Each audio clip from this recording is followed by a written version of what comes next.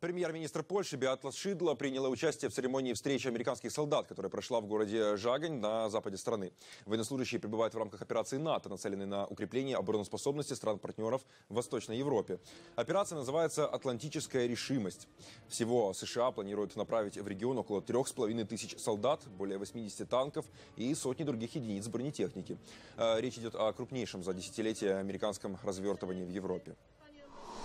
Это великий день, когда мы можем поприветствовать здесь, в Жагане, американских солдат, представляющих лучшую и самую сильную армию мира.